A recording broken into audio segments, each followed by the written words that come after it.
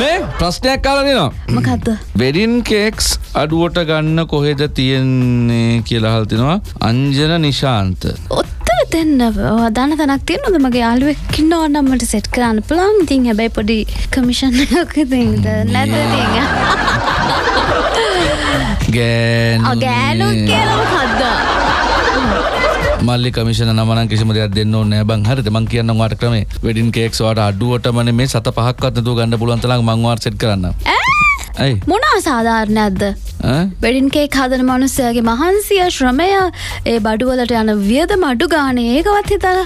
ඒකත් හිතලා තමයි කියන්නේ. ඒවා- ආසම නැති වෙලක තමයි මම වෙඩින් කේක් හදන කෙනෙක් විදියට අඩුවට ඉල්ලන එක යාළුකමට නිකං කරලා දෙන්න කියන එක.